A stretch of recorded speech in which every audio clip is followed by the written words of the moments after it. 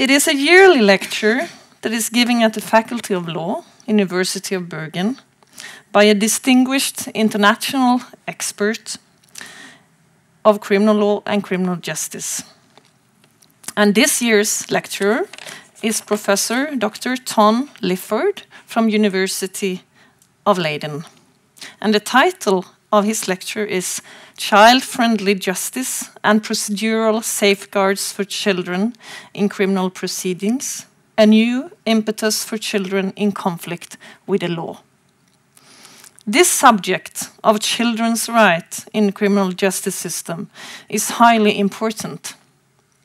It is also a timely matter to discuss now, when the UN Child Convention soon celebrates its 30th birthday. It is a sad fact that also children commit crimes.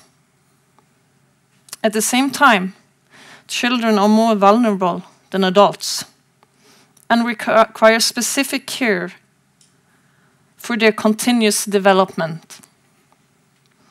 The criminal justice system in many countries has, in this light, developed special procedures and measures for children offenders. But the situation is still challenging. And on the other hand, we are witnessing a harsher criminal policy towards precisely juvenile offenders. And I'm really grateful in this light that Professor Dr. Ton Liefaard, with his great experience in this field, has accepted to provide a lecture on this important topic. Professor Liefaard is Vice Dean for Education of Leiden Law School. He is full professor of children's rights, and he holds the UNICEF chair in children's rights at Leiden University, Leiden Law School. He wrote his dissertation in 2008 about the deprivation of liberty of children in light of international human rights law and standards.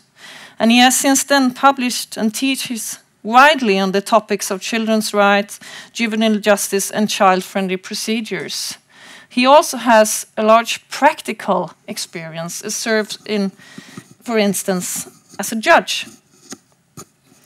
So I'm very grateful that you could come.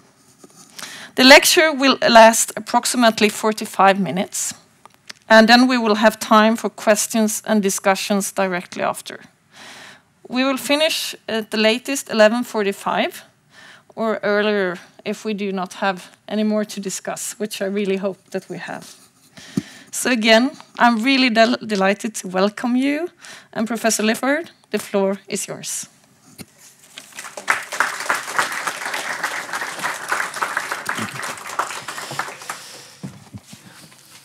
All right. Good morning. Good to be here. First time in Bergen, and I brought Dutch weather. I'm sorry for that. Just been informed that the past week have been beautiful, and now it's raining. And it's very cold, to be honest, for me. But that's uh, just being me. Um, it's an absolute privilege to be here. Thank you for the invitation. It's an honor. Um, being invited for the Bergen lecture um, and, and um, is an honor. And being able to talk about the field that I find particularly important as part of this lecture series is a privilege. So thank you very much for having me. Thank you for um, reaching out to me, and uh, and um, and I would like to thank you all in advance for um, the dialogue we are undoubtedly going to have. This is a field that is emerging it's a field that leaves us with many, many questions, but I think it is altogether a very interesting development that has implications for children um, that are not necessarily seen, regarded as children in the first place.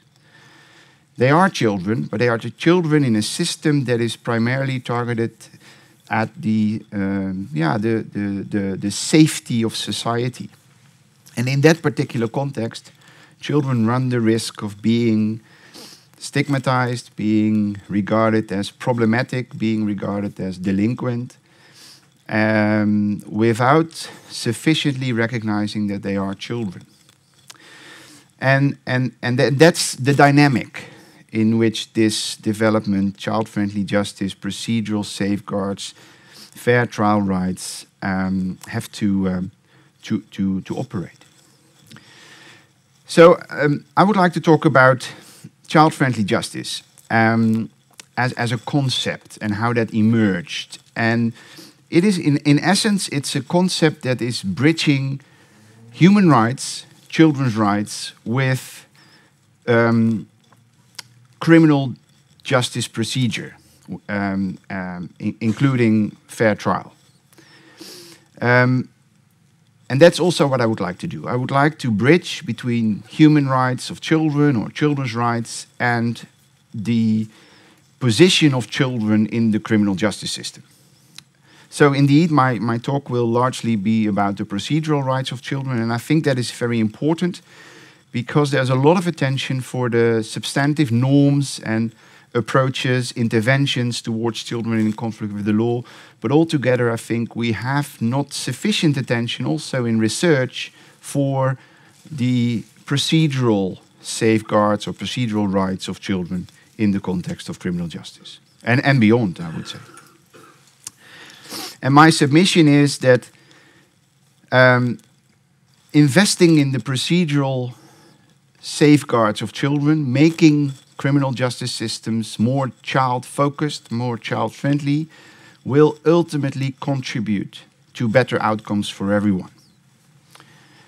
Um, but in order to understand its true potential, I think we need to do much better. We need to have much more exchange, we need to have much more research, and we have to make um, that research also practically relevant.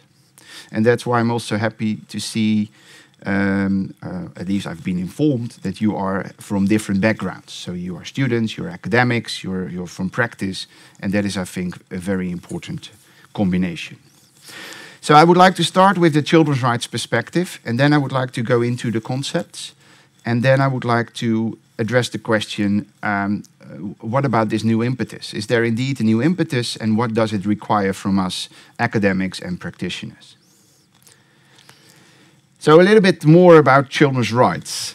Um, uh, it was already referred to, but children's rights um, have found its basis in international legal standards. Um, and the key document here is the UN Convention on the Rights of the Child. Um, ratified by almost all countries in the world. Um, there's only one country that has not yet done so. Um, at this point, I'm not sure whether they will ever do. So it's the it's the that that particular country in the light blue.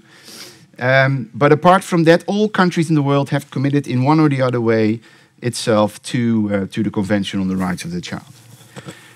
Um, and children's rights are human rights, so they are about the fundamental values uh, related to treatment of human beings with humanity and with respect for human dignity. And that has been extended to different groups in particular, and children is such a group.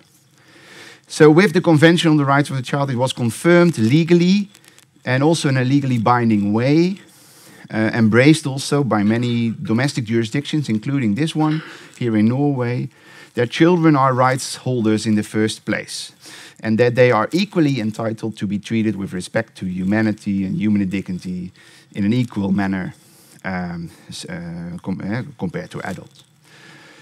Uh, in addition, you could say that children have special entitlements. Children have special entitlements because they are a specific special group of human beings with the key characteristic that they are developing. So children is not an homogeneous group, it's a group of human beings that develop from being the just born baby into becoming the adolescent in transition into adulthood. And as, of course now today we know that that even goes on after reaching the age of 18, which is generally the age of majority in, in domestic systems. So, so children have received a very solid legal, um, strong legal status with, with the convention. 30 years later, um, we have to ask the question: Where do we stand? What what has children's rights, um, the Children's Rights Conven Convention, delivered? And um, and I think we should not get overexcited here. Um, children's rights, of course, are in many parts of the world still um, uh, rights in paper and not so much in, in, in, in, in practical meaning. Um, some refer to this almost universal ratification, which um, should be seen as a great success. So, yes, I think it is interesting and it's important that we can talk about children's rights wherever we are, um, with governments, with others. Um, but of course, it doesn't tell that much. Um, children's rights are about principles, but ultimately they have to be about outcomes. They have to be about deliverables. They have to be about securing children's development. It's, it should be about children's well-being, long-term well-being, and also maybe even flourishing. So children's rights have to come with more, but they present an important set of principles. And I'm also convinced uh, in, in, in, that that has meaning because what we see uh, happening here in Europe in particular is that children's rights have started to inform the broader human rights discussion with regard to children and parents, and also has resulted in more practical and tangible uh, approaches with regard to, uh, to, to children in specific contexts. So, for example, children in the criminal justice context. Um, and it is a, a, a, framework that is evolving constantly. Um, the convention was drafted in the 1980s. That was a completely different period of time. Um, so this is 1989. Everyone was happy, celebrating a convention on the rights of the child after 10 years of drafting. But it was a time frame that was different compar compared to the time frame we have now. And it's likely that the future is different than today. So this is the Berlin Wall, and it represents basically the end of the Cold War, uh, the then Cold War maybe, and children's rights were developed in that time frame. So you see reference, for example, to the nuclear family. You see no reference to the digital environment, and there's no reference, for example, to issues that are relevant um, uh, as we speak, such as climate change. So the world today is different, and that is, I think, the time frame in which also children's rights have to play their role. Um, uh, um, uh, children are living offline and online. That has also implications for criminal justice. Uh, children are motivating themselves. They are politically active. Um, there are there's much more attention for also other actors than than the state as the as the safeguarder of children's rights. So we are also talking about business and we're talking about service providers. And I think we are have much more reason also to look beyond the nuclear family. So, so it's a different time frame, and that has implications for, for, for the juvenile justice system. So, ju juvenile justice and children's rights. The Convention on the Rights of the Child has clearly confirmed that juvenile justice, uh, the system in place to respond to children offending, committing criminal offenses, um, is, an, is an issue of children's rights. Th this convention has two specific dedicated provisions for juvenile justice. Um, I don't know to what extent you, you are familiar with this. I'm not going to dwell on it, so I've tried to use all my graphical skills to make some kind of summary. Um, um, and uh, the bottom line is that if children are brought into the criminal justice system, which is not their decision, which is a state intervention, children are entitled to be treated in a child specific manner and in a fair manner. And these two pillars are basically the pillars on which the whole children's rights agenda is built as far as children in the justice system is concerned. So it's about child specificity and it's about fairness. And fairness is a broader term than fair trial. So you see that here it's about child specificity, which, for example, requires that you, you, you as a state, you invest in your, your workforce, in, in, in a workforce that is specialized, that is that understands to uh, you know what it takes to deal with children as, as offenders. And it's about fairness, and of course, the, the, the most important component of that is, is the right to be treated with respect to the right to a fair trial. So, and that that is also the reason why the convention basically repeats many fair trial standards that can also be found, for example, in the European Convention of Human Rights. But there's a little bit more. We, we, the, the, the, the CRC, the Convention on the Rights of a Child, is, is, has to be seen as as, a, as, a, as, a, as, a, as a critical component of a children's rights framework that deals with juvenile justice. And there we see that we have to talk about you know, which children fall within the scope of the criminal justice system. So we have to talk about age limits. And what you see roughly is that we are talking about 12, 14 as the minimum age and 18 as the upper age. So children within that time frame, generally at the time when they commit the offense, they are considered to be falling within the comp uh, competency of, of the criminal justice system for children, if there's any. Yeah? Not all countries have that.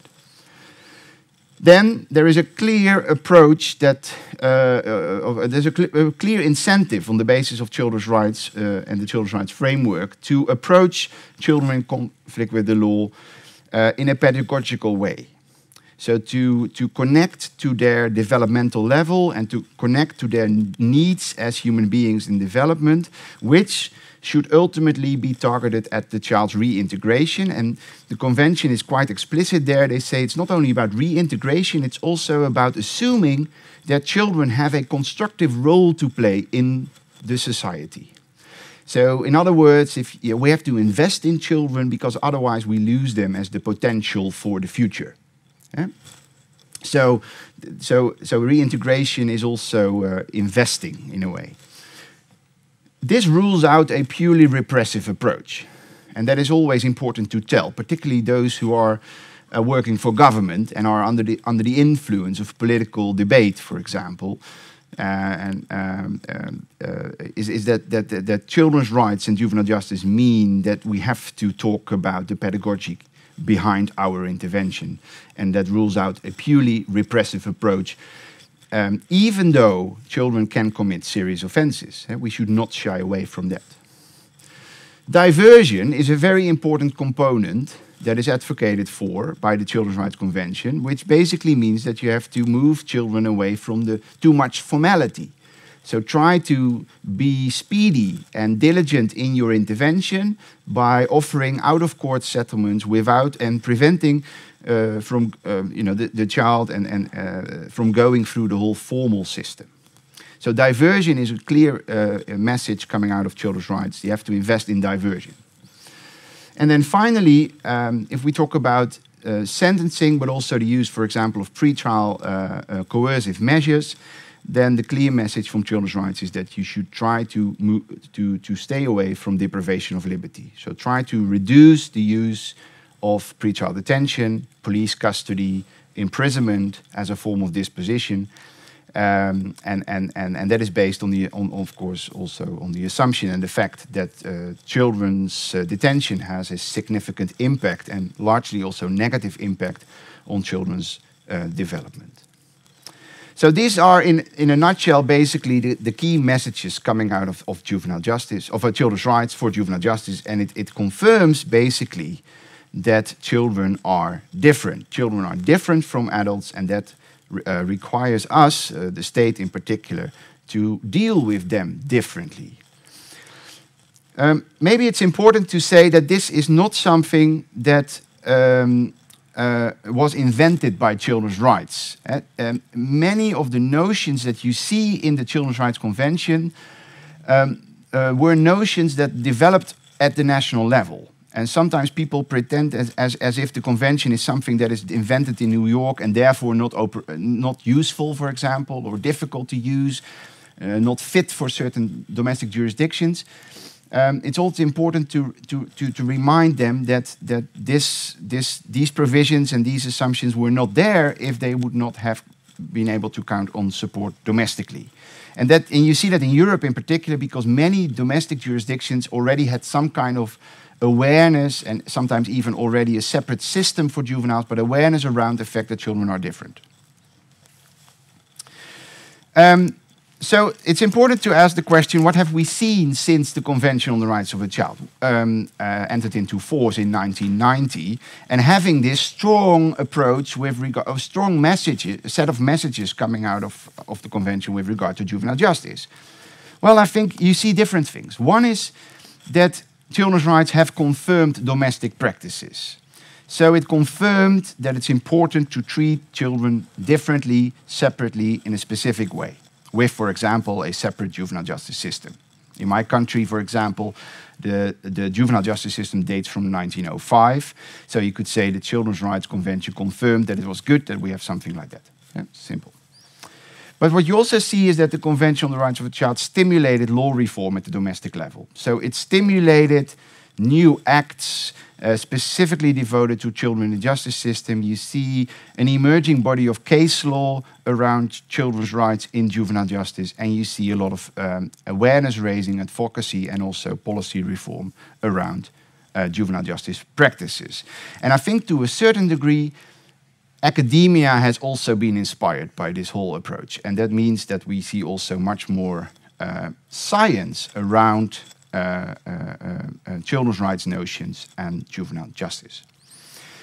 Um, where you could say, you could say that when the Convention on the Rights of the Child was drafted, we were not having much scientific evidence that um, children required a specific approach. We were not having that much evidence that um, a, a, specific approach for children in conflict with the law would have also uh, a positive uh, effect on, on, our, on, on, on, on our interventions.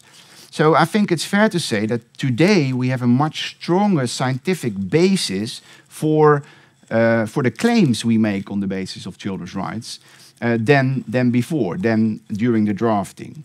And uh, when I say that, I refer specifically to everything we know about child development and the impact of child development uh, on issues, very important fundamental issues such as culpability, um, uh, participation, and also uh, effectiveness of interventions, the whole what works uh, agenda. So I think the assumption that children are different is now much more supported by scientific evidence. And I think we also have, of course, reason to believe that children uh, are not alone in that regard. We also have to be concerned about young adults. So we have also now much more important insights that I think have to be brought into the discussions around juvenile justice at the domestic level, rela relating to uh, what works, uh, how to deal with young adults, and how to invest in due process. But of course, we also see persistent challenges. And I can only list a few, but there is persistent concerns about violence in institutions, in juvenile justice, but also broader than institutions. Um, we see that there is uh, still uh, a lot of concern about the root causes of juvenile delinquency and an inadequate uh, uh approach with regard to prevention. Um, we see that not all children can equally benefit from from children's rights in the context of juvenile justice. Also, in, in my own country, in the Netherlands, we have seen that there is reason to, to be concerned about uh, the, the, way children from different ethnic, ethnicity and different ethnic backgrounds, migration backgrounds, are treated compared also to children with a non migration background. And I think we are still in the process of starting to acknowledge that. So I think there is still an issue with persistent challenges that stand in the way of a full realization of children's rights in this particular context. Um, the Committee on the Rights of the Child, which over, uh, overlooks the implementation of children's rights, also um, understands that. And they have now just recently, in September, published their new general comment on children's rights in the child justice system. It's replacing the old one, and the general comment is meant to give guidance also, also to states on how to live up to their, their, their, their obligations under children's rights. And they say, listen, it's important to, to always remind ourselves that we are not talking about a, you know, a purely welfare system, that we are only focused on children's needs no, the justice system is, of course, um, having a legitimate aim in the pres uh, preservation of public safety. And within that context, children's rights play out. We have evidence that shows, and that is, this is a quite strong statement, I'm not so sure whether they have all that evidence, but they say we have evidence that show that if we invest in the rights of children, that we will ultimately also reduce the prevalence of crime committed by children, but they are also still very much concerned about the harmful impact of criminal justice interventions on children. And that's why apart from all the investment we have to make in all the children's rights in particular, we also have to invest in the whole organization of child justice uh, and the system, including the professional. And there is reason to, be, to do that, and this is another very topical development. Uh, the global study on children deprived of liberty just published uh, at least the General Assembly report and brought to the UN, and that basically confirms that there is a lot of concern about children inside institutions across the globe. I'm not going to dwell on it for time. If you are interested, I can talk about it. Um, uh, we can do that then later. So let's go to child-friendly justice, because child-friendly justice emerged basically out of this whole children's rights system, and it has brought us at a moment in which we seriously have to consider how to deal with child-friendly justice and our procedural um, uh, uh, uh, and our criminal justice systems. Child-friendly justice is a concept that is meant to, uh, as I put it here, to enable children to engage with and or participate effectively in justice proceedings. You can also say that child-friendly justice is a concept that is about children accessing justice systems.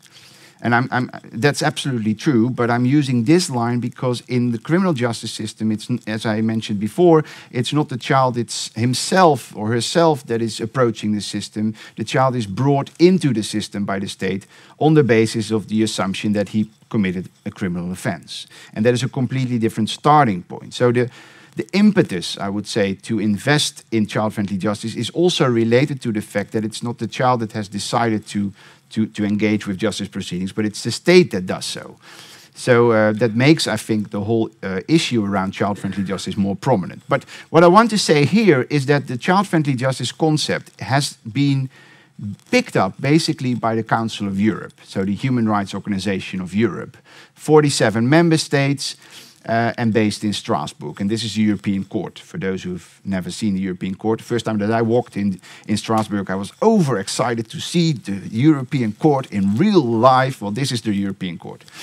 Um, now it's a little bit more common, but you know you have these institutions and you hear about it all the time as you know being a legal student, etc. And then all of a sudden you're right in front of the European Court. Well, the European Court uh, has indeed been instrumental in the development of this child-friendly justice concept. And that's what I want to talk about a bit further in detail. Um, the European Court uh, already, uh, basically this year, uh, 20 years ago, um, had to deal with the, the, the, the, the case of, of Jamie Bulger. I'm sure you, you, have heard about it, and otherwise, uh, um, um, uh, it's not e difficult to Google uh, all the all the all the details, but it was about two very young boys who brutally murdered a young toddler, and it was caught by CCTV cameras, and ultimately the child was killed. Um, brutally, as I mentioned, and, and, and that caused such a public outcry in the UK um, that uh, that these boys uh, were uh, were, were, were, were yeah, put in trial, of course, and everyone was you know, speaking about it. There was a lot of public exposure.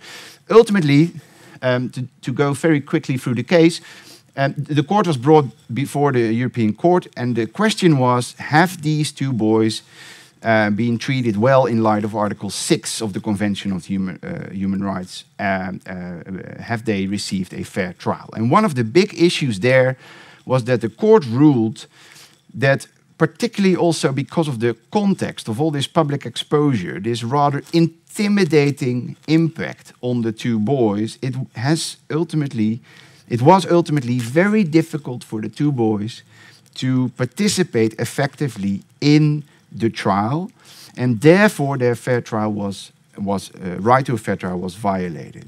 And more specifically, the court said if you bring children into a formal trial proceeding, you have to make sure that that particular trial is adjusted to their age and to their level of development, to their emotional and intellectual capacities. You have to bring that in. You can't assume that the way you normally operate is automatically child sensitive enough.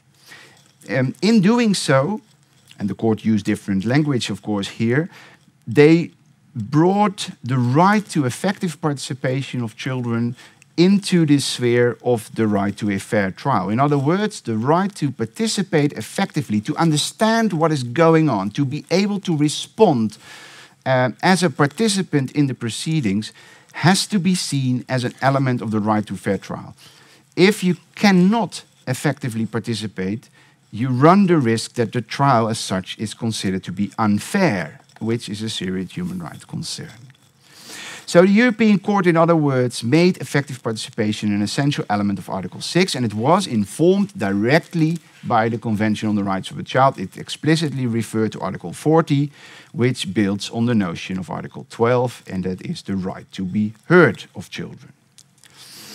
The Committee on the Rights of the Child picked that up, and in its general comment number 10, in which it explains what it takes to implement the Children's Rights Convention, specifically in the context of criminal justice, the, the U UN committee basically picked up on that effective participation narrative. And they started to elaborate on that in that general comment and also in the other general comment on the right to be heard in criminal justice proceedings and beyond. Sorry, I need to check my notes now.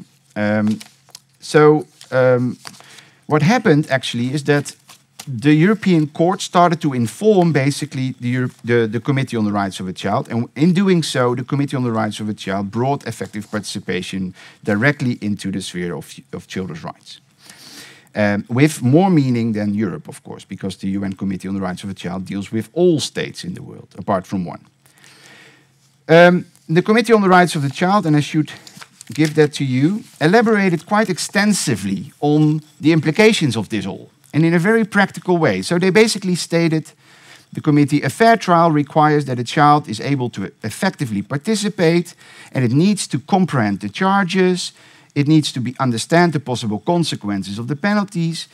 Uh, it should be able to direct the legal representative, to challenge witnesses, to provide an account of events, to make appropriate decisions about evidence, testimony, and the measures. In other words, the committee really approaches the child as a full blown actor.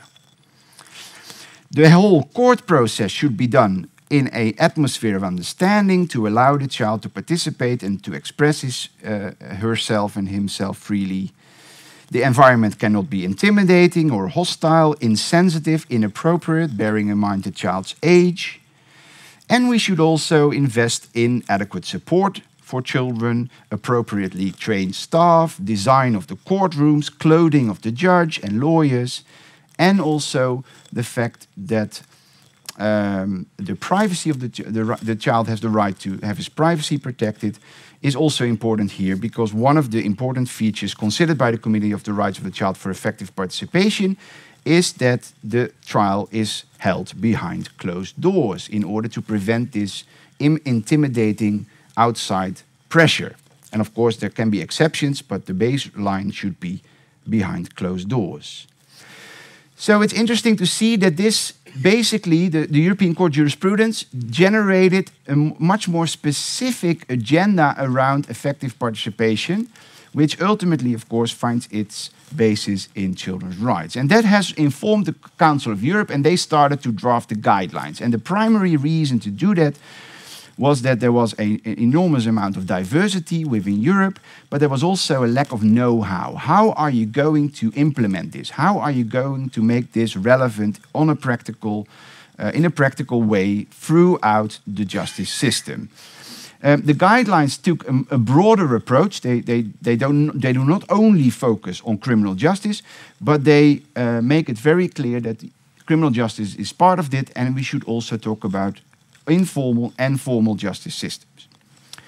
Key elements, and I'm not going to dwell on it, it's, it's, it's extremely boring, but what I want to flag is that there are key elements that come back information, accessibility of the proceedings, assistance, the right to be heard. You have to recognize that, but you also have to provide feedback so that you explain to the child what you have done with the input of children.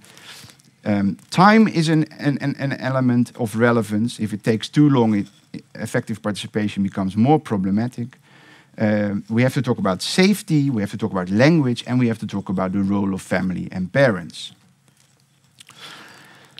Um, this, was meant as guidance, but what you see is happening now is that the convention of the, the guidelines, which as such is, is, is really providing guidance, so it's not legally binding, states can easily say, I'm not going to do anything with it, even though its notions are grounded in more hard legally binding judgments.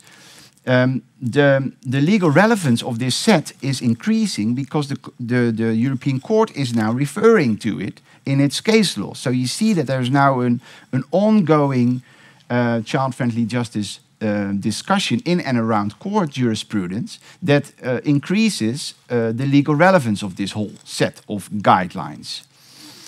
Um, and what you also see is that the guidelines have started to inform research, and it is, has generated a lot of awareness, arouse, uh, uh, uh awareness raising campaigns uh, at domestic level, supported with EU money. There is now further standard setting, including in the EU directive. I will talk about that in a minute. And there is more policy development around child friendly justice. Child friendly justice could also be seen as a small export product because there's other regions that are now experimenting with similar sets of guidelines. There is the International Association for Family and Court uh, and, and, Juvenile Court Judges, and they've um, adopted a similar set of guidelines to make their judges, their members, aware of the importance of it. So you see that there is something spreading here.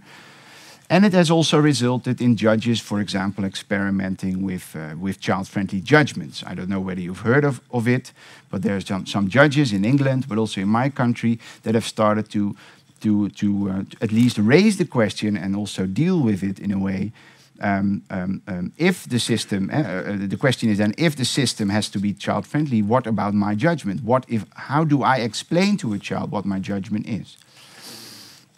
Uh, which is not easy to do. I can say that from my own practical experience, but it's something that is interesting. And it started to have influence beyond the justice system, but I will leave that for what it is. So the EU picked this up as well. They started to, to, to support uh, NGOs, to, do, to prepare training for professionals, to do, to do about awareness raising. We've also been involved in that as an academic institution. Um, uh, but also in terms of standard setting, the EU started to draft a directive, and a directive is legally binding for EU member states, and that is a, a, a directive that is specifically on the procedural safeguards for children. And again, you see that there is reference to information, to assistance, to um, urgency, so time, and there is also um, a reference to children and parents being present in the proceedings. So there is, and this is this is legally binding for EU member states. So EU member states have to work on this, and in fact, they already had to do that and have to implement this directive before the 11th of June 2019. And the com Commission is now expected to follow up on that to see how states are doing and to what extent they have actually implemented this EU directive. So this is not vague and legally soft. No, this is very hard legally binding law. Um, finally, and then I'm stop. Uh, then I will stop about standard setting. Finally, the committee has renewed its mandate around uh, its general comment number 24, and they have also reiterated this element of effective participation um, and they do that now also on the basis of child-friendly justice. So they refer to child-friendly justice as an incentive to, uh, of as a concept to, uh, um, uh, uh, for effective participation. But it has done a little bit more, and that is something I wanted to give to you because it's really brand new. The committee um, advocates for an age of 14 years of age. And an age, the MACR, is the minimum age of criminal responsibility. And for the first time, the committee explains better why they think 14 is important. I don't know to what extent you know about this, but the committee advocated for 12 as the international minimum standard. So under 12, no prosecution. And as of 12, you could consider that. But now they say, no, no, we have to go up. And that is related to the knowledge we have about child development and their culpability and what they need. But for the first time, they say it's also about the child's capacity to comprehend, to understand criminal proceedings. So there is now a link between the minimum age and the child's competency to participate and understand the proceedings. And that is something that is really new, and it has been directly informed by this whole child friendly justice development. Um, they also say you have to consider this also in light of your diversion mechanisms. So even if you choose to divert, which is good in light of children's rights, then you have to make sure that children can effectively participate in it. And I think we can talk about it because diversion is important also for your system. It is also important to, to flag that the committee considers child-friendly justice relevant in the context of deprivation of liberty. So if children are detained, institutionalized, or whatever you call it, they have to have means to engage with the system and to access justice to address the way they are being treated. And that has many implications. But interesting in that regard is that the committee advocates for acknowledging that children, as from the moment they are arrested, are considered to be deprived of liberty. And that means that the whole child-friendly justice system should actually also extend to that first initial step resulting in arrest. And then finally, and that is also an important addition, the committee for the first time recognizes that we have to keep an eye on children with developmental delays, disorders, and disability. And we should not assume that they can automatically participate in the same way as others. And that is also an important addition to the narrative around child-friendly justice. It makes it sharper, it makes it more tangible, I think. All right. Reflecting on this all, because this was about standard setting, I hope you see that there is now this legal, comprehensive set of standards that came from the UN into Europe, started to inform the UN again, and starts to, to branch out a bit. And of course, Europe has the benefit of having this human rights infrastructure and the EU infrastructure and that is that is not everywhere in the world. Eh? So it's difficult for, for, for parts of Asia to do something similar. But they also started to show interest in what is happening here. So I think, in a way, um, there is there is something to be expected happening there in the future, but not uh, to the same extent automatically. So the European Court, for example, has been very instrumental here. But I think there are three key messages coming out of this, and one is that it is it has to be about information to children. It has to be about support, legal support and otherwise, and it has to be about direct contact. So these three messages come out of this whole. And of course, there's much more detail, but I, am not going to dwell on that. Information, support, direct contact. And the direct contact could also be connected to the input children themselves gave to the drafting of the guidelines. And they say a lot that is happening with us in systems is ultimately about the lack of respect, or at least our experience of being treated disrespectfully. So children indicate themselves that they feel that they are not fully respected. And that is something that is coming back again and again and again is that if you deal with children, regardless of what they have done or what they are accused of, where they come from or whatever, they they have this, I would say, rather genuine feeling that they want to be respected, and then they can even accept a harsh penalty. But if they are not feeling respected, it's even it's it's more difficult to accept the outcome. So that means, for in my view, that we have to reach out. We have to make sure that we connect to their, in a way, experience, their their desire to be respected, and that is, I think, a role that a professional has to play. And of course, as you know, there are many different professionals, but in general, it's an, there has to be an outreaching role for professionals, and the professional have to be backed, has to be backed up there. In the context of criminal justice, it plays out in all stages of the proceedings. Um, it's not only about the trial, for example, I think we have to invest in much more knowledge about child-friendly justice, for example, in, in probation. We have to talk about out-of-court settlement because it plays out there, diversion. It is about the role of parents or an appropriate adult, which is something that also emerges more and more and more. If the parent is not the one, then who, who can provide for support and who is also trusted by children? Children themselves suggest that they see family parents, family, and friends as the as the ones they trust, while there is a generally a complete lack of this trust trust in in the system, in the professionals. So there's something to bridge there, but with the help maybe of the support from an adult. Language is relevant. And I think the whole child friendly justice concept is particularly relevant for children deprived of liberty in many different ways. That is all coming out of what I've tried to show you today. More conceptually, I think it makes us think about how to approach children. And you could say the more traditional approach to children is that they are vulnerable and that they, for that reason, they are entitled to special protection. I think with children's rights, it's about connecting protection with participation slash empowerment. And this whole movement is around acknowledging the dynamic between protection and participation. Of course, in the specific context of criminal justice, protection is extremely important. Children are very vulnerable in the criminal justice system. From the very first contact with the police, there is a lot at stake. And we know that it's difficult to comprehend everything, and we know that it is difficult to, to, to pick the right strategy. It's already for adults difficult, but it's for children even more difficult. So, yes, there is reason to offer more protection. But it should not mean that we should not invest in participation at the same time. Child friendly justice make, should make us think about how to approach children and their autonomy.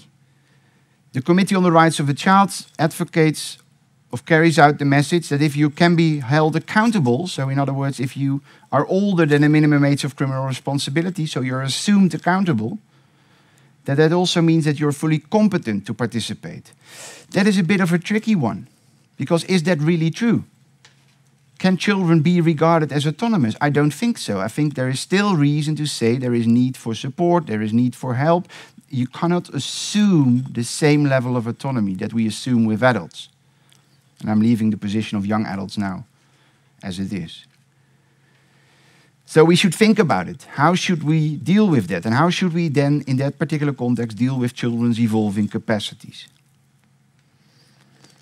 We should also think about what the implications of this all are, are for other systems than the criminal justice system. And also in the particular reality that criminal justice systems are strongly connected to other systems. So, um, and I think that's true for this system as well here in Norway is that children may not end up in the criminal justice system because of their offending, but they may de be dealt with in the welfare system, or they may have experience already in the mental health system. And these systems communicate with each other. And that is also related to you know, investment in systems, etc. But this whole concept has to be brought further than criminal justice. We have to talk about child friendly justice in the welfare system, in the child protection system, in the youth care system, in the mental health system. And I think this whole child friendly justice development gives us reason to fundamentally reflect on the position of children in domestic justice proceedings in general. So, having you here with us on civil procedural law, I think we have reason to reflect on our assumptions with regard to legal capacity or incapacity. Um, uh, and, and that's what we are doing now in the Netherlands as we speak. So we assume, for example, in civil law proceedings that children are incompetent. Is that really still valid? Oh, something to talk about maybe later, if you have time, Mr. Vice Dean. And I don't think you have time. but, but it would be, would be great. All right, I, I have to stop. Uh, I, am already running out of time, I think. Is it okay? Okay, good. I, um, this is not a perfect world, eh? don't get me wrong here. I'm, I'm a bit excited, but we are talking about gaps, unclarity, inconsistency, weaknesses. It's not all that strong, it's not all that wonderful. But what it, it is telling us something. It is telling that we have to move beyond traditional ways of approaching this. We have to move beyond talking about children in conflict with the law as being a problematic group we have to invest in them. We have to make sure that we do everything we can to empower them to engage with us in the system. Is this a European consensus approach? No, not at all. What we see is that one of the reasons for the standard setting is the reality that there is a lot of diversity in Europe and also a lack of willingness to empower children in the system. So there is reason to be critical here. There is not such a thing as European consensus of this. Um, the two, 2014 studies that have been commissioned by the European Commission in administrative law, in civil law, and in criminal justice show an enormous diversity in, in, in, in specialized services, the, the availability of youth courts, um, um, uh, possibilities for children to, to participate, um, recognition of rights, time limits. I mean, it's, it's really diverse. And that makes it also complex and dependent on cases such as the one I discussed before the European Court in order to, you know, get a, some kind of understanding of some kind of European consensus here. And of course, this is not easy. Being a professional in the justice system, hearing a lot about child friendly justice, the question ultimately is how am I going to do that in my daily work? And that is absolutely important. That question is absolutely important. We have to find answers for that. Because this is a very complex system with many different interests and many different um, stakeholders. So the police, for example, is not only concerned with the rights of the child. The police is about law enforcement. The police is about gathering evidence. The police is about making sure that everyone is okay, including the child. So if you want to make this operational, you have to go into that reality. And you have to make sure that child-friendly justice in that particular reality of the police official can be can make any sense. Let's put it that way. And that's where academia comes in as well. This raise, there are fundamental questions to be raised, as I mentioned to you autonomy, protection, participation. How do we actually reconcile that all? Quite fundamental. But ultimately, we have to also support practice with applied research. In 2014, there was a large research project published by the European Commission and I think we have to follow up on that. We have to understand how our systems operate, operate how we can improve systems, and how, what systems can learn from each other. So I think maybe Bergen and Leiden can do something in comprehensive European comparative studies.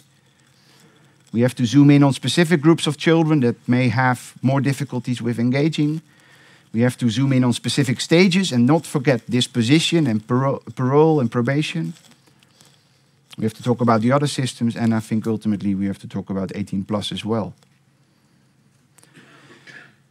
Um, but the key message is that we have to invest. We have to invest in being inclusive. We have to invest in making children aware of the fact that they matter, that they are an active participant in the system that comes at them because they are assumed or alleged of committing an offense within the reality that children do commit serious offenses, within the reality that we cannot shy away from that, and the criminal justice system is in place to respond to that. But we have to do it in a way that we leave no one behind. And that's basically my key message. I started with that, that we invest in this, that we can maybe also more get more uh, better outcomes. Uh, but in order to really understand that potential, we have to join forces, academia, practice, um, and that's why I would like to reiterate that the, my, my gratitude for the invitation because this helps me to talk about it and hopefully you talk with me um, about it and then we can uh, move forward. Thank you very much.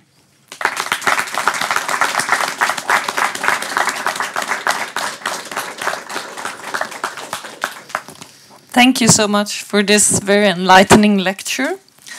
And uh, now it's time for questions and discussions. So please go ahead. I have. We can use this one. So. You can also. This one is easy to use because okay. it's just thrown around. Thank you. Uh, Katre Luhamaa, uh, being in the Center for Research on Discretion and Paternalism in Ardmorg. Yeah. Um, I think we met. Yes, we yes. did meet in Tartu. Yeah. Uh, yeah. And, and thank you for the wonderful presentation. I think that the topic you discussed is very important. But um, I have been actually wondering that there is a big group of children whose rights in the criminal procedure we do not touch at all. And um, I checked also the CRC uh, general comment, and while the draft comment was focusing on children in juvenile justice, the uh, current uh, general comment is focusing on children in justice system. And we are actually forgetting about victims, child, children as victims and children as witnesses in criminal proceedings. Yeah. And I would argue that probably most children participate in criminal proceedings as victims or as witnesses. So, do you see there this kind of uh, do, do you acknowledge the same kind of problem and, and, and can the principles developed here for juvenile justice system somehow help us in overcoming the problems for children who are victims of, Yeah. of, uh, of different types of crimes or, or we are, who are included as witnesses? Thank you. Yeah, yeah, very good point. And shall I respond straight away? Yeah. Um, um, yes, uh, this is a valid point. Um, one thing uh, I, I didn't really understand the point with regard to the general comment because they they are it is still about juvenile justice, even though they call it child justice now. They, they changed the name. I know, yeah, and I know where it comes from. It comes from South Africa, where they, they say the juvenile that, that is a stigmatizing term. So we want to get away from it. We have to acknowledge that this is about children.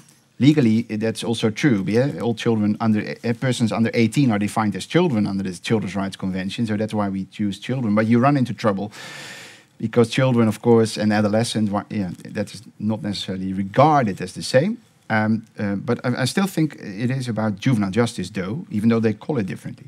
But the point is very, very important. Um, yes, and I, I didn't talk about children as victims today.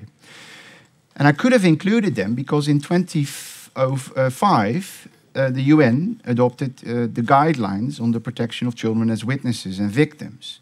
And it is referring to the importance of child sensitive systems. Systems that are in place to recognize that children are, are, have this particular vulnerability, which means that we have to reflect on the way we deal with them in the criminal justice context. And that is a very important topic. And in a way that has also influenced our thinking about around child-friendly justice. Um, it, it has become a bit messy because we are now using all kinds of different terms. Um, but the child sensitivity element is, is crucial for, I would say, all children that engage in one or the other way with the formal justice system. Um, being a, it can be a criminal justice system, it can be a civil justice system. So, so I think this is an absolute valid point. Uh, and, and, and, and it's quite interesting to see that in, in, in, in countries that there is quite a lot of attention for the child as the victim or witness and or witness. So, for example, many investments have been made with regard to special child uh, hearing studios, for example, with colors and, and drawing material, etc. And there is, I think, much more awareness that, that, that trying someone in a criminal court um, with having a child as a victim slash witness does not always mean anymore, luckily, that we have to bring in the child to give a testimony right in front of everyone.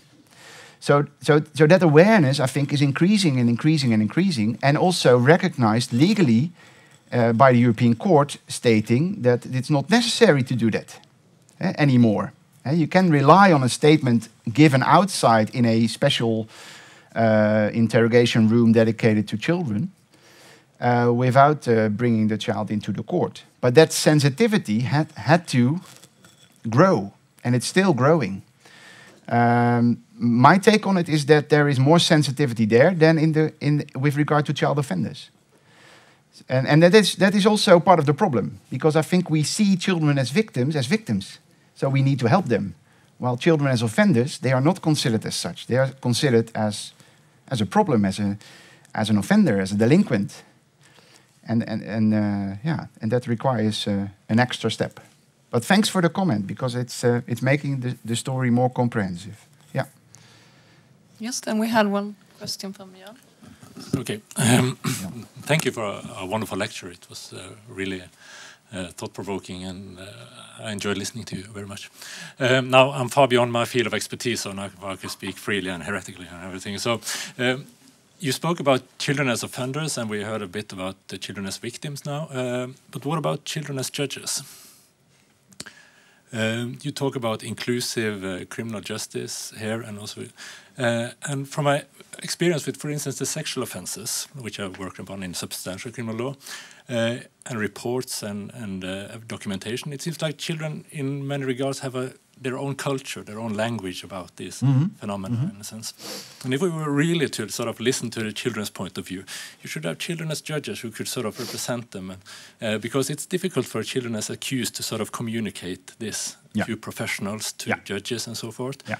Uh, so here's the provocative thought: Would it sort of provide even more inclusion if you have sort of children that was sitting there similar to the sort of uh, jury Yeah. where we sort of emphasized the importance of being judged by one's equals and the importance Yeah, of this yeah, uh, so what about judge, uh, yeah, yeah, yeah, judges yeah, yeah. Normally, if I get difficult questions, I pass them on. You know. so, what do you think? No, that's the, uh, the. No, no, no. This is an interesting. This is a very. I'm hesitant here. Um, yes, I think there is a problem with connecting. So the adult narrative in criminal justice and the, the narratives that children use themselves, and um, and and there's this lack of trust. So there's a big issue. There's a big gap. So in a way, you, this is all about repairing something. In a way, this is about a disconnect between a child and a criminal justice system. And why do we need to invest in criminal in child-friendly justice? Because we need to make a system that is designed for for adults more accessible for children. Yeah, isn't that is that really something we should do? It's one of the reasons why we should become more innovative and we should keep them out of the formality. But it's not always possible. You know, what do you do with a child that is involved in gang activity? Um, uh, uh, what about a child that has raped someone? What ab- I mean, it happens. So you could okay, okay. But there's maybe in general, apart from the from the specifics, um, is then the question: Is it then is it good to to let children judge each other? And there I'm a bit reluctant because we, we have something, uh, I don't know whether you have it here, it would be interesting to know, uh, but we have it in the Netherlands. There is a new initiative called the Youth Courts, and they, uh, juvenile court, no, it's not juvenile courts, it's youth courts, jongerenrechtbanken, youth courts, and they are run in schools. And then they, they basically play the, the court, and then they deal with a, a matter about uh, an offense in school.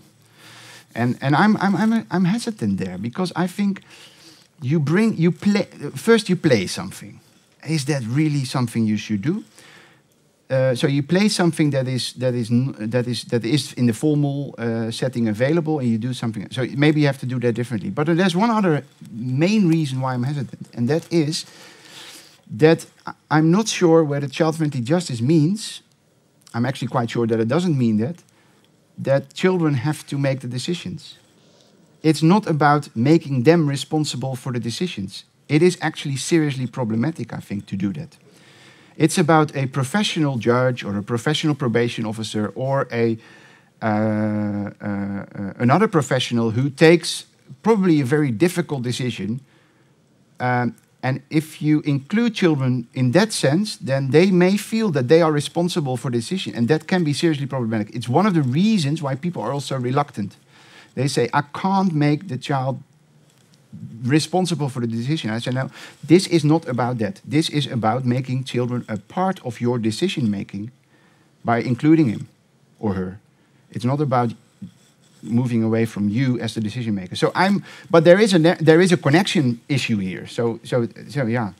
It looks like you want to. Just a just a quick follow up. I I fully agree with you on this sort of uh, to sort of this uh, school alternative with the play and so forth. That seems Yeah. problematic.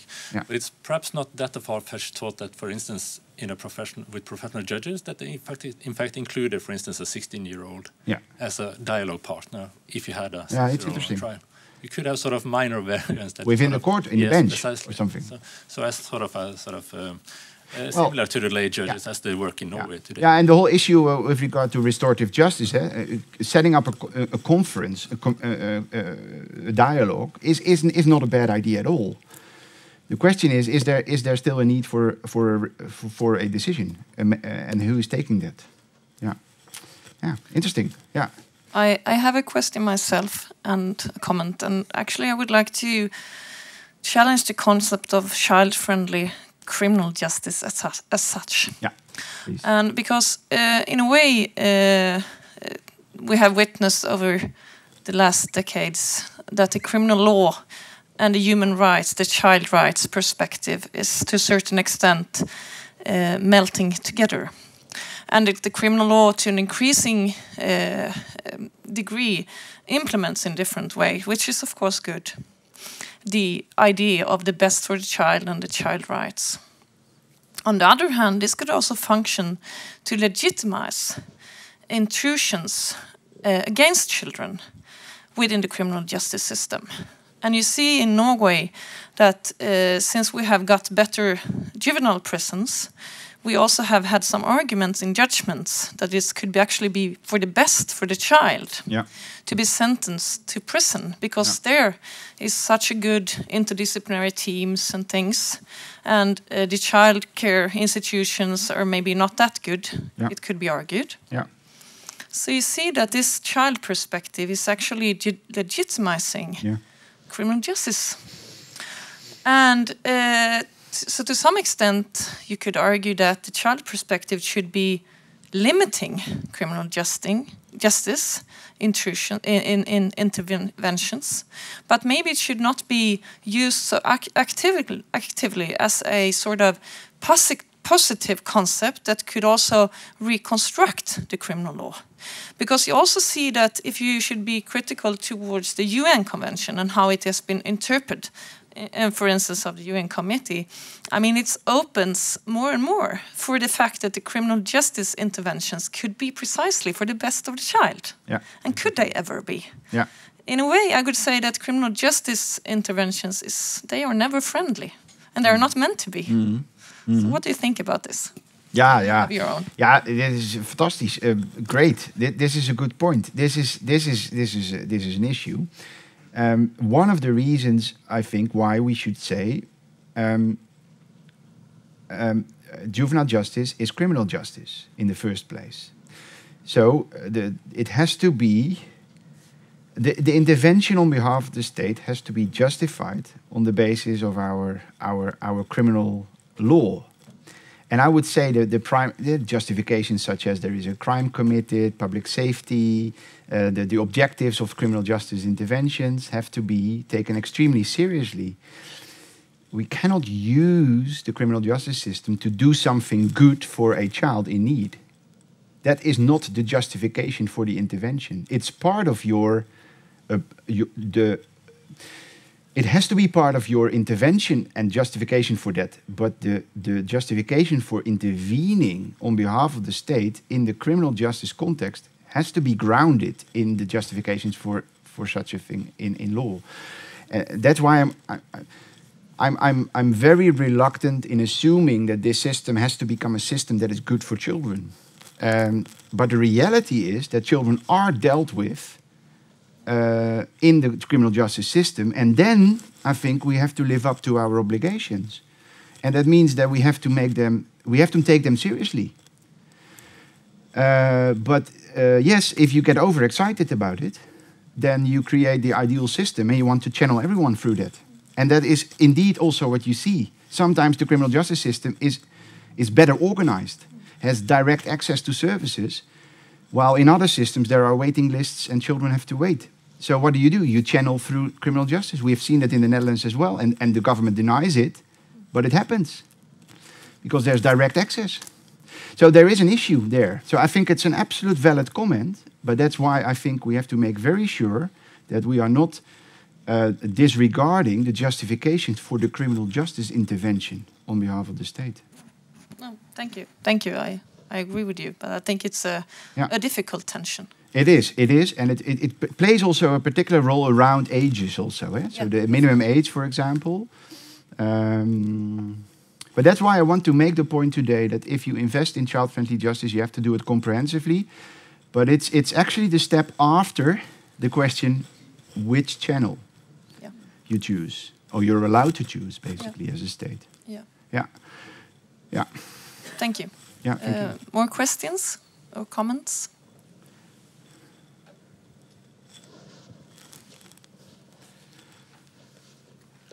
Uh, my name is Camilla. I work at the Ombudsman for Children's Ah, Office in nice. Norway. Yeah. Um, I'm very pleased to hear your lecture. It was great. Um, I wonder about child participation. There is a discussion in Norway regarding uh, criminal law and also within the welfare system, child welfare system, Yeah. about uh, children's party rights. Uh, do you know co- Heter det party rights? Yeah. Which rights? Party rights. Uh, I don't know what you call them. In the, when the child has certain rights within the uh, proceedings. Yeah. For example, the inform- uh, the right to receive information, Yeah. the right to Yeah. present themselves. Yeah. I don't know what you call it in English. Nobody knows. Yeah, procedural rights. Aren't you lawyers, all of you? Yeah, yeah, but I don't know. I, I don't think know. Procedural rights or, or yeah, like the Procedural party rights, rights maybe, rights yeah. as a party in. in Oh, as a conflict. party. Oh, As as a an interested party, party. yeah. Yes. Okay. Yes. yeah. Yeah. So this is a discussion that we have in Norway. Yeah, At what yeah. What age should a Yeah. child have party rights? Yeah. Uh, now a, a very current discussion in, uh, concerning the criminal law and the, yeah. Yeah. Could you answer The that civil law, you mean? Uh, Or- th- well, that's that is child welfare law, but this Yeah. is now in in connection with the uh, criminal pro, uh, criminal process. Yeah. Um, Yeah. yeah. Yeah. The, the question is at what age can a child be regarded competent to uh, to have part, uh, party rights or uh, rights as a, as a as a as an interested party? Yeah, that is now there's no such a thing as one age. I, I cannot I cannot say on the basis of children's rights it has to be 12. In my country it's 12. It's 12. As of 12 you have the right to formally uh, the formal right to be heard by the court, for example, in a uh, divorce case or in a child protection case. And it plays out throughout the system. It also organizes practice because uh, the, the court basically checks, oh, this is a 10 year old, okay, there's no need to invite him because he's not 12 anymore. But as of 12, you can. You can informally approach the court. And I think 12 is, uh, the justification for 12 is not given. Um, you see different ages here all the time. So there is uh, now the District Court of Amsterdam that is experimenting with eight. They say even though the law says 12, we do eight, and we invite all children between 8 and 12, in addition to all the other children of 12 and older.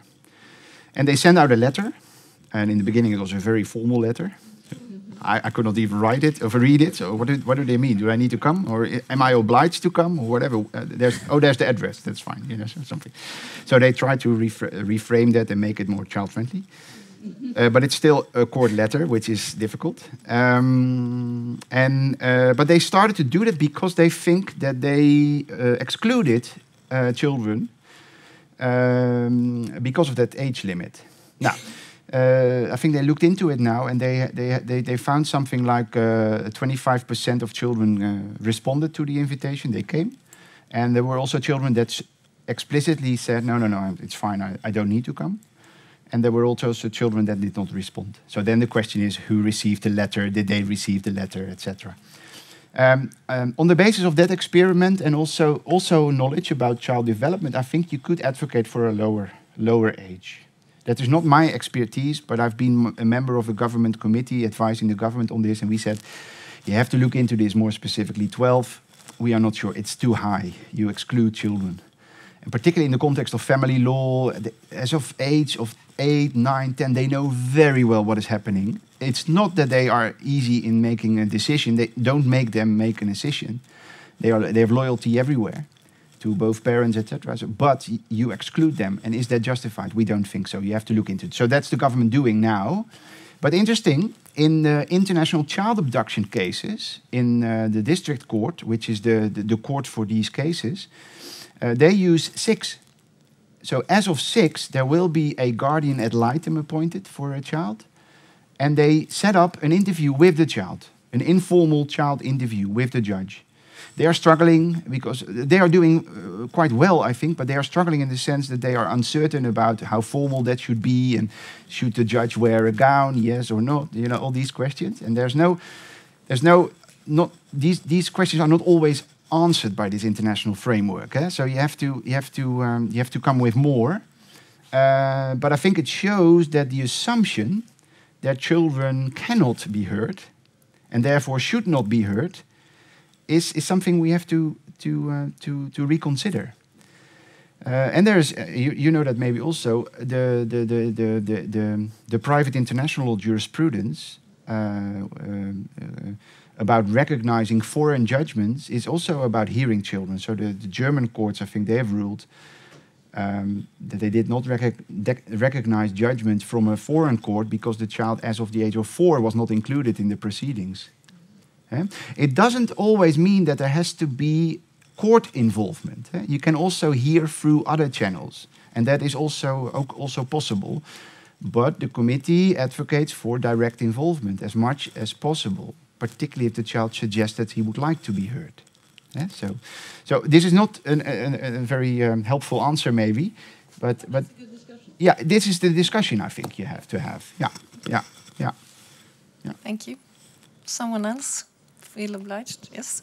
Uh, I would like to make a brief comment on that. Um, my name is Lisa Soreda, and I'm working as a district court. And I think, in regarding to to uh, as a child should be a party or not, you should turn the perspective and look at the the need of the child. For instance, in family case uh, Yeah. cases and in child care protection. Maybe the, the child needs protection from their parents or whatever, and then you can make yeah. them have a lawyer, Yeah. and in that way, Yeah. be sure that they have their rights Yeah. fulfilled. Yeah, And but if you should make the child as a party too young, you can make more procedures than necessary. yeah, yeah, yeah. That, So I that, that think- is a valid point. As a judge, I. I sometimes in family cases, I'm, I give the child a, a, a lawyer Yeah. just to protect the child. Yeah, yeah, sure. Yeah. And what is then the assignment for the lawyer? What is what is the assignment? What, what is the what do you want him or her to do? In the ideal world, I want a lawyer to talk some sense into the parents. In ah, Yeah. okay, okay, okay. That's but, very honest. But yeah, maybe to to to give the to to really to get the chi- children perspective in the case. yeah, To to really Yeah, to sure, help the child to Yeah. to uh, yeah, to the best for the child. yeah, yeah. Yeah. Interesting. So it's it's Yeah. uh, I know it's it's could be in an in a in an ideal world, but sometimes it can open the eyes and it can really bring the child into the court Mm. in a different manner. Yeah, thank you for sharing that. I mean, the, the, the reality in family law cases, disputes, of course, is that children they may easily get stuck in between parents, and parents, you know, they they mess up dramatically, and and children are somewhere somehow.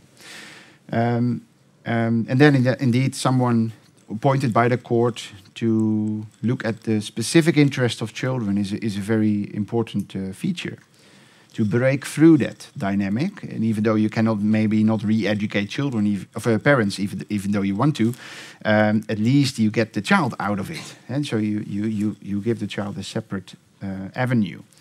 Uh, uh, the the big challenge, I think, also is that uh, is the assignment for that. Uh, what is the, what is the role of that appropriate adult lawyer guardian ad litem?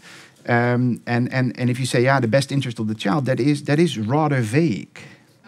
Yeah. So can it also be a, a, a child-led exercise, so that the child, that, that the lawyer is really engaging with the child? What do you want me to say to the judge, or is it more about the lawyer making an assessment independently about what is needed to the judge? And I don't think we have much of consensus there yet. I think there's a lot of variety here. Uh, but I think uh, the whole thing around child-friendly justice, uh, I think, is an incentive also to instruct the lawyer that he or she should also open up to the to the to the true wishes of the child and to to make to to make them clear to the court. So uh, this is a lot of words to say. We have to make sure that th th there is the good assignment. um, but it's interesting. Thank you for that. Yeah. It's um, I don't know. I, I, I spoke briefly about the child-friendly justice, uh, the, the child-friendly judgments. It, that is quite an interesting development. Uh, having a judge in the room, maybe I can I can uh, plant an idea uh, there. But there's this judge in England that uh, had to decide on this family law dispute, Mr. Peter Jackson. And uh, it was about a mother living in the UK, the father moving to, I think, to Sweden. And the child suggested to the court, uh, to the judge, I want to join my father. And then the, the, nah, the, the, the court had to decide. And uh, as you know, that is not an easy thing to do. You have to decide. Um, so you- you're there for the decision. Um, and, and, and the judge wrote a letter to the child. And it's called uh, Dear Sam. And it was at- attached to the judgment. And he explains to the child what his decision is, was. And it, what is interesting about this example is that the, the judge explains in very clear wording that he didn't follow the wishes of the child. He said, Listen, I'm not going to say that you're joining your father. I'm not sure whether you really want it. Such an interesting judgment. And then with this accompanying letter, showing on the one hand, I respect you and I want to explain to you in nah, what, what, I refer, what I would say is child-friendly wording. I, I do my best to connect to you and explain in normal wording what I mean. And then he is also not following what the child suggests. And that makes the example even more powerful because it confirms that including children in proceedings doesn't mean that you have to do what they tell you to do. And you're taking the decision, and it may be something different than the child wants. But if you engage with the child in a serious way, then maybe it's more acceptable for the child as well. So that's an interesting example. And it's, it's a very small development, and, and judges in my country are doing it as well. And, and they are hopefully they are struggling. Uh, I know that. I see that, and I, I can't do it myself. It's difficult, but it's uh, it's it's happening. It's quite interesting to see that. Yeah. All right. Thank you. We have time for some more questions if there is someone. Yes. Thank you. Let me mm, let me have a short comment, not a question, but just a comment, Sure. because it's interesting this uh, perspective in criminal justice when you got questions from outside or uh, regarding uh, uh, uh, children as as victims and as witnesses, Mhm. and then we have this family law Yeah. uh, situations. Yeah. But what's, what I think is that uh, these children are rather often participating in different roles through their um, life as growing up children. So, in one case, the child is a victim. In the next case, the same child can be the offender, and so on. And from earlier uh, in earlier years, perhaps there has been a family conflict. So Yeah. all this is about how to include them in Yeah. uh, in the in the society, in the Yeah, at the, the right uh, side of the law, and and to to to grow up as as uh, responsible um, particip- participants in the society. And so it's important to to to uh, see the the broader picture. Yeah. Yeah. Yeah. Thank you. Thank you. Yeah, I, I'm, I'm glad you make the comment. I think this is, this is about uh, including children much more fundamentally and broadly, as you suggest. Also, uh, as you suggest, um, I think, and that's why I make the point very quickly that this is actually also maybe informing us for for context outside of the the justice system in the broad sense. Uh, The justice system is a system in place for family law matters, for civil law matters, for child protection, for criminal justice, for immigration. But it is also about children as, as citizens. It's about children as uh, being um, uh, affected by decision making in many different ways. As a group, individually, in medical decision, in school, uh, in the community. So I think the and that is what what I find particularly interesting about this whole children's rights uh, agenda is that it is reflecting, I think, uh, and forcing us to reflect on the way we include children in society. Um, doesn't give all the answers, but it is a reason to reflect um, on these fundamental uh, approaches towards children. Uh, and it's ulti- ultimately about merging uh, uh, the recognition of their vulnerability and immaturity and their evolving capacities, resulting ultimately at a certain point in autonomy. Um, I, I, in my teaching for my students in Leiden, I always use uh, medical decision making as an example because it shows so so clearly the, the problems we, we we run into trouble immediately. Um, so, but it's very fundamental. Um, it's about who owns rights. It's about who can exercise rights, who can exercise on behalf of children. When do we grant autonomy? When so it's it's very fundamental. Um, so that would be my comment to your comment. But I'm I'm, I'm glad you make it. Um, and and we there's also a lot of inconsistency there. So on the one hand, we say you're you can also already be responsible and accountable as of 14, 12. Uh, that is a criminal age, and then there's the civil age, and then uh, yeah, voting. Yeah, that's not something for children, so that's 18, and uh, yeah, no alcohol, 21, and no drugs uh, in the Netherlands, of course. Uh, I'm always I'm always using the wrong example here.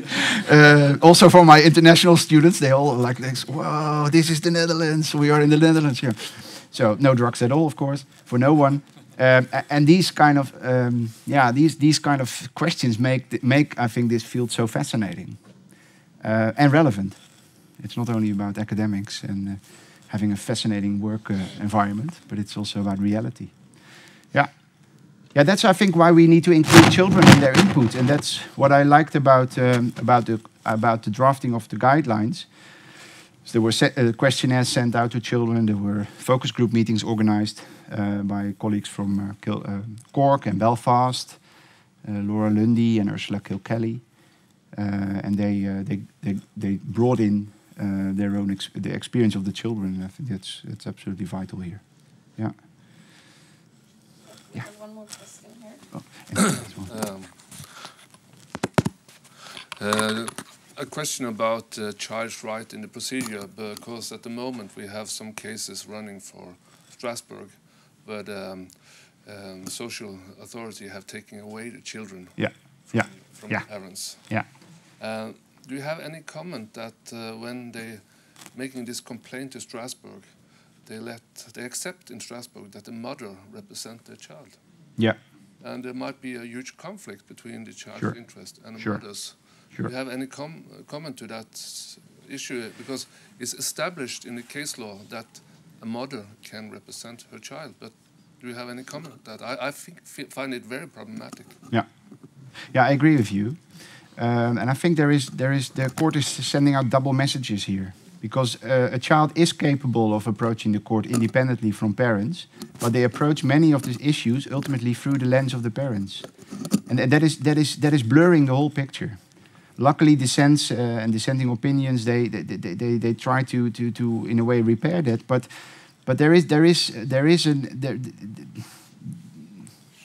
there is an issue there with, with, with how the court approaches it, uh, this. Um, and um, I think I know the cases where you refer to, and I think, I, particularly in these cases, it, it is problematic, also substantively, uh, because there is this conflict of interest, there is this, or potential conflict of interest, so you cannot assume that that is proper representation. Uh, but it's still, I think, built on the notion, on the assumption that, that children are represented uh, in a way, and, and and that is and that is I think something that we have to uh, to uh, to criticize. Um, um, yeah, uh, that would be my answer now. Um, yeah, so I, I, I share the concern. Yeah, yeah. Thank you. I think we have one last question here, so uh, take that also. Um, well, I should like to ask you. I mean, the criminal system is not about guilt and innocence. The criminal system is about what can you prove, what can Yeah. be. Yeah. I mean, it's not about whether you are you are necessarily uh, guilt, uh, innocent, but what can be proven. Yeah. And I'm just thinking, this approach is that necessarily good for a young offender, for a child? I mean, when my own child, who was then younger than 15, was involved in some criminality, I, I sat down with him and his mates and said, now let's come clean on this. Tell me exactly what happened, and then we'll try to approach the victim. We'll try to find out what we can Yeah. do about this. Yeah. Yeah. And I think this is the way most parents would approach uh, criminality in a child, saying, Let, let's come clean about this so you can go on Yeah. with a clean conscience, Yeah. rather than saying, like some lawyers would say, now don't get into this because they cannot prove that. Yeah. Sure. Yeah. Absolutely. Is, yeah. is that yeah. necessarily a good approach for a child? No. No, I would say no. But what you do as a parent is you take your child extremely seriously because you sit down with him and say, listen, we have to talk about this, acknowledging also, you know, that you played a role or whatever. You, you were not there, most likely. But you want to, you, you, you, you're, you're having a conversation with your child in a safe environment. Uh, that is unfortunately not true for all parents. They cannot do that all. Um, unfortunately, and, and of course, those children um, in court, then there's often a very unsafe environment. I'm, I'm always struck by the number of kids in front of the court that are from broken families, have been in and out of the care system all the time. And you, as a, as a criminal judge, you basically sit there and say, okay, what can we do? What can we do other than uh, let's look at the facts? Yeah? Where do you start? So, so I, I, I, I think you make a very valid point here. Um, uh, and what, uh, what you do, in a way, is offering uh, uh, a, a solution to deal with the fact, and while addressing, I think, responsibility and taking your child and the other uh, involved uh, seriously. And, and I think the criminal justice system is, is having difficulties with, that. Uh, um, because of its inflexibility, because of its formalities. And uh, you're also pointing at a very uh, problematic uh, link, and that is, uh, um, is, is not, uh, a, a, a problematic issue, and that is um, what is the role of the lawyer of the child? Huh? Is he going for including his client into a conversation, or is he saying, "Uh, don't say anything because they don't have enough evidence? Yeah, that happens. I know that, and I see that right in front of me. So it's very difficult to have a, some kind of pedagogical dialogue if the child sits there and says, "Well, I'm not saying anything because uh, my lawyer tells me to," uh, something like that. And, uh, and and then we try and we try. And we try. You can't try too much because then you run into trouble as a judge. Yeah. So so I see that as an issue, and that means, and I don't have a wonderful solution for that. But what I at the same time, of course, you have the right to defend yourself, and you have the right to to to contest and to to keep your mouth shut. There's no obligation to participate, and and and within that reality, we have to make sure that children are taken seriously in a way. But it makes life life is extremely difficult if this is the approach. So then, yeah, you would like to see lawyers um, that understand the sensitivity of this all and also understand that in a specific case it might be better for the client to talk. It's, it is maybe an incentive to say, let's take away facts from solution. So that you say, the facts, okay, you keep your mouth shut, it's fine. Um, I, I see enough evidence, so you're guilty. And then, okay, now let's talk about how are you doing? And then sometimes the conversation gets going. Uh, and, and then you can talk about solutions. Uh, uh, but sometimes that's, that's blurry. Yeah. And then, of course, you get a report from the Child Care and Protection Board and states, yeah, the suspect doesn't want to talk. And uh, yeah, we, don't, we, can, we cannot say much about him because he doesn't want to talk. Yeah, we have some information here and there. But, so it makes life difficult. So your point is absolutely valid. What you're suggesting is an alternative way of dealing with it, maybe. Um, and that is an interesting one. Yeah. Yeah. Thank you. Uh, I think we have to conclude here. And uh, so thank you so much again. And thank all of you for you. interesting uh, questions and discussion. And as we hear, it's, there are many questions and, and still some solutions to come up with. And so I really take your invitation of further collaboration seriously. And Yeah, yeah. to see you And again. it's, it's taped as well, I Yeah. think. And we also have a little um, gift for you to remember this one, wrapped into some Norwegian colors. Uh, it is a, a book about tiny Bergen, and it's small stories from the most beautiful city in the world. So I think it could suit the subject. So maybe it is not small people who has written it, Yeah. but maybe it is the way they would look at the city. Nice. Yeah. So, thank you thank so you much. so much. Thank you. Thanks. Thanks. Thank you. Thank you.